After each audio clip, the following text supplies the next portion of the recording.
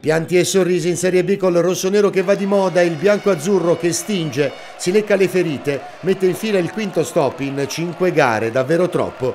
Grande Virtus al Partenio di Avellino con i numeri che parlano chiaro, 1 a 3 senza storia, 7 punti nel girone di ritorno, terza piazza in solitaria posizione, atteggiamento tattico da Camaleonti, quando il 4-3-3 rischia di fare fatica, ecco il 3-5-2 redditizio in grado di frantumare la Tana dei Lupi che proprio in casa avevano retto un ritmo da Serie A.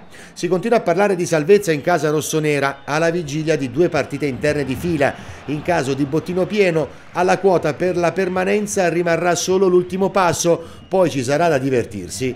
Inutile girarci attorno e il Lanciano la grande rivelazione del torneo. L'ultima sugli scudi Marcel Buchel, un colpo di testa a liberare, poi il gol, due assist, ancora palle recuperate, inserimenti, contrasti. Sontuosa prestazione 10 in pagella, esteso poi a tutta la rosa.